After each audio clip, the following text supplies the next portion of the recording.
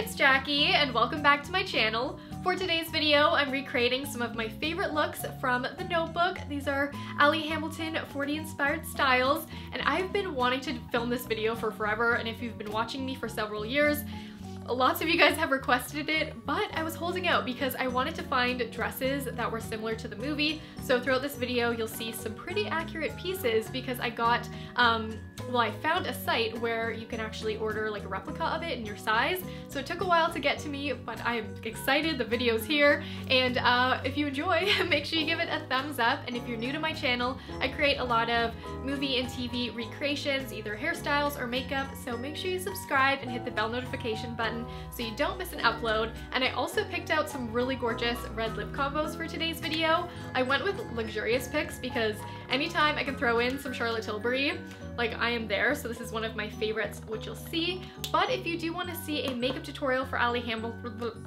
Allie Hamilton, then make sure you let me know in the poll if you'd rather see high-end makeup or drugstore. Let me know. And anyways, let's get started. Starting off with look number one, I'm wearing this gorgeous dress from ModCloth, and firstly taking some dry shampoo from Aveda and bringing it through my roots to freshen up. About 2 inches back, combing the crown, and we're going to start teasing this section.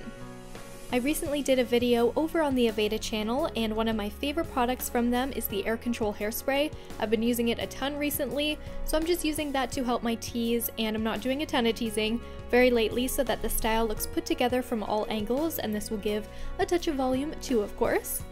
And we're not just teasing from the back, but also bringing in a little tease to each side of the part and then smoothing over and we're going to curl the top portion towards the face so that we have a medium-sized curl in the shape of a poof.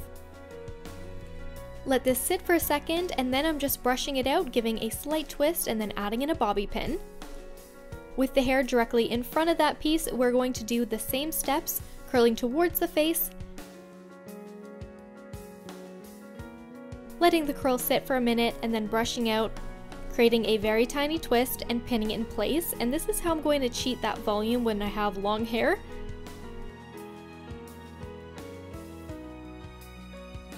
Next piece, directly along the hairline, I'm curling away from the face and I'm creating a pin curl and this is going to cover up the original bobby pins I've done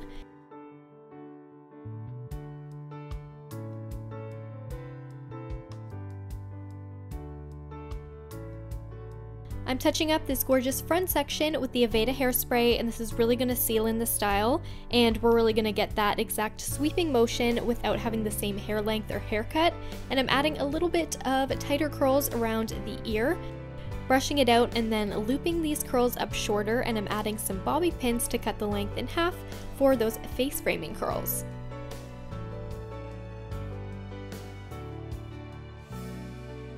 Since my hair is quite a bit longer than Allie's, I'm starting the curl about where my shoulder is, and then once I have the main curls done, I'm adding a couple of tighter curls up top, and then I'm brushing this all together and giving a tease to the bottom, wrapping up the ends into a pin curl. Once I have the pin curl shape, before I actually pin it in place, I'm loosening up those brushed out waves for volume, and then pinning and adding hairspray again, and then moving to the other side, take the top portion and twist towards your face, poof it up slightly and add a bobby pin. And now for the decorative white flower that looks so nice in the hair, I got mine from Michaels, and then same steps. So you want to start curling about where your shoulder length is, and I'm curling towards the face still and making sure I have some tighter curls up top so that when I brush it out the waves don't get lost. Teasing, pin curling and before I actually pin in place, poofing up the hair for lots of volume. And now the final step is to add the L'Oreal Colorista in rose gold.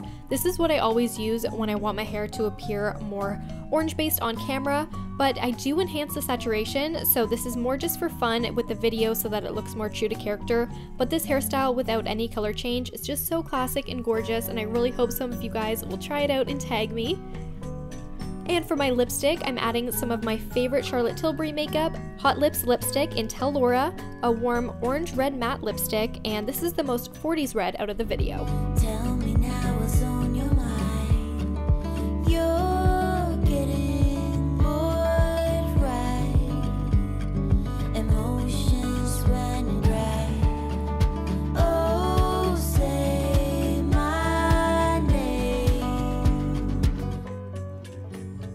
And moving on to look number two, Allie's twisted pigtails on her ice cream date with Noah. Check out this dress replica I have, I absolutely love it. And after brushing out the hair, I'm draping half of the hair over in a loose diagonal instead of creating a center part where you see the scalp. And now for Allie's hair, it looked like a very simple twist where you would just roll the hair backwards and add in hair along the hairline, pinning in place. But for some reason, this always loosens up on my hair and it gets weirdly poofy around my ears. So this is how I create a similar look that I know will stay put. I divide my hair into two and then I'm twisting the two sections around each other, bringing in a small section each time from the hairline then taking the leftover hair as a third section, I'm creating one tight normal braid before tying off with an elastic. Now this twist looks a bit too uniform and not quite the texture of the twist that looks more like a roll that we want, so loosen the twist up and then fold the loose flaps over with a bobby pin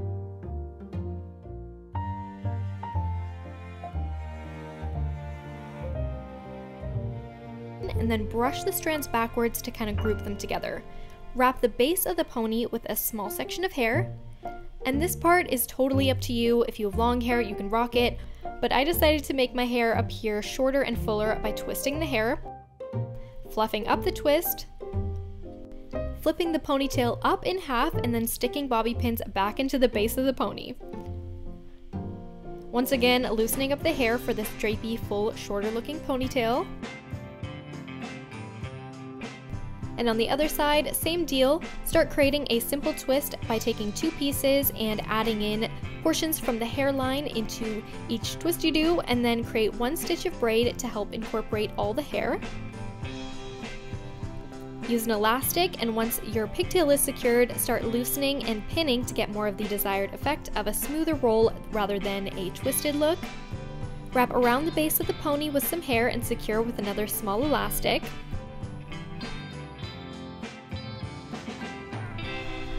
Colorista spray and boom, there are my Allie inspired pigtails.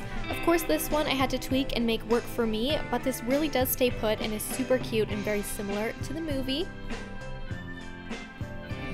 And my lipstick pick for this look is Charlotte Tilbury Matte Revolution Red Carpet Red, and this is a true ruby red matte lipstick, perfect for this iconic dress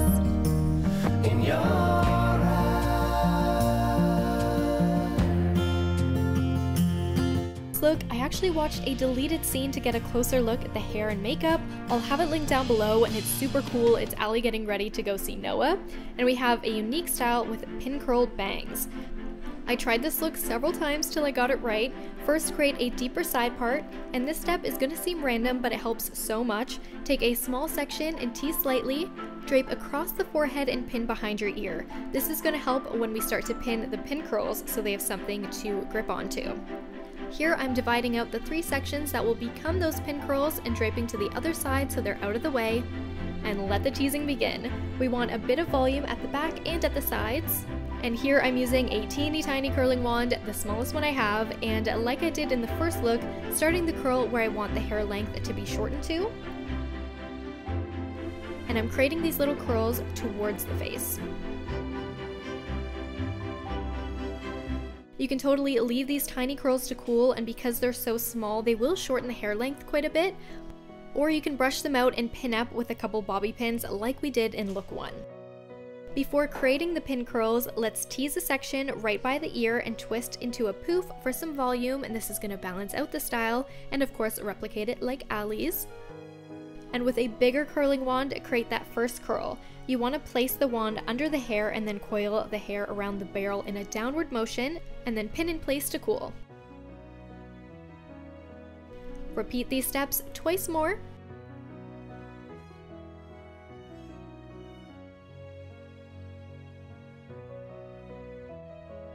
And tease, twist, and pin on the other side. I twisted the hair into a vertical roll so that I could wedge the bobby pin straight through it along with the hair on the scalp for that rounded shape instead of twisting backwards. And we are curling again towards the face piece by piece.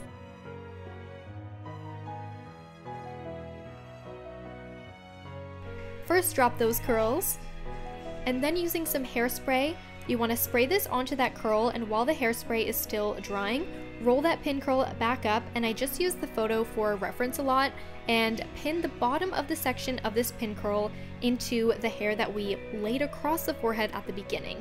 Only bobby pinning the bottom portion of this curl lets the top have more volume and more of that soft, uninterrupted coiled look.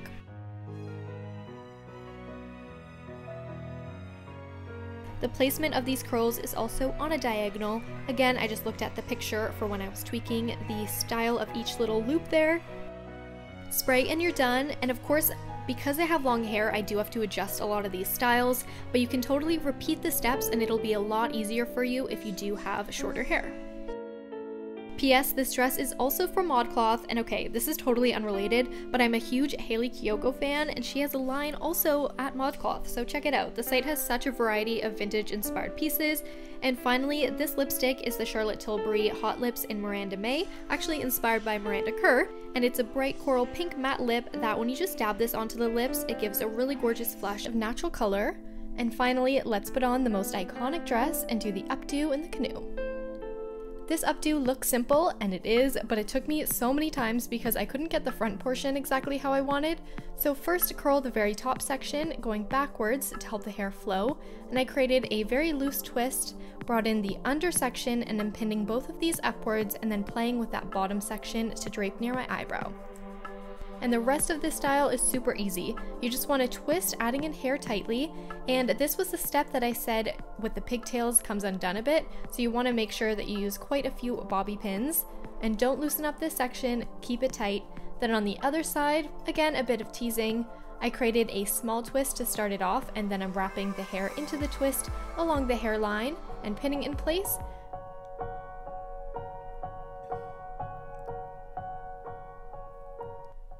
And lastly, grouping these two sections together with a couple more bobby pins.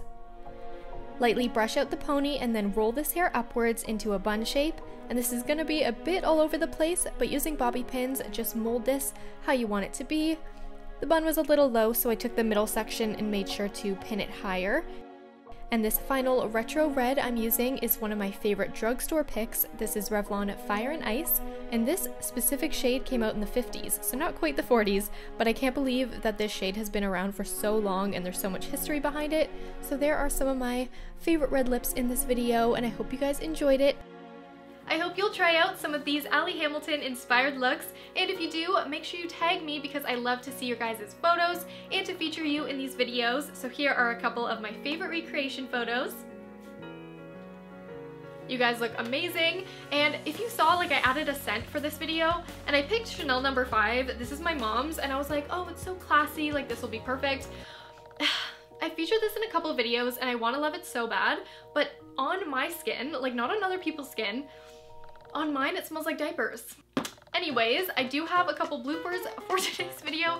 Things just go wrong sometimes. There was a pesky fruit fly, so here's some of that footage.